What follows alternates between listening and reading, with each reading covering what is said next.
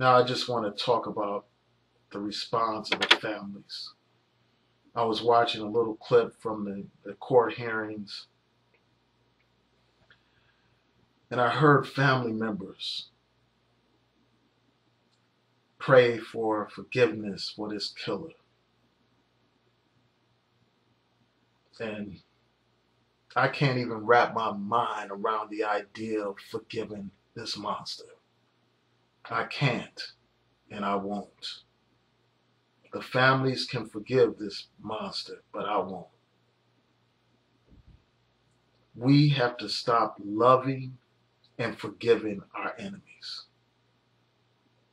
We've done that for too long.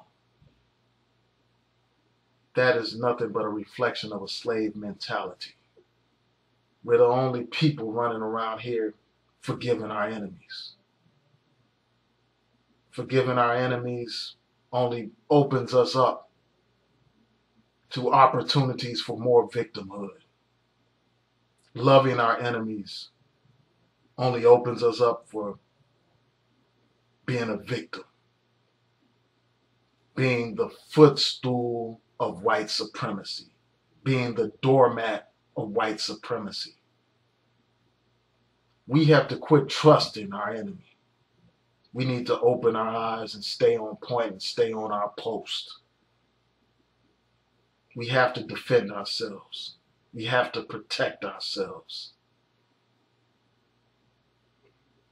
We can't just let anybody in our midst in the name of so-called tolerance.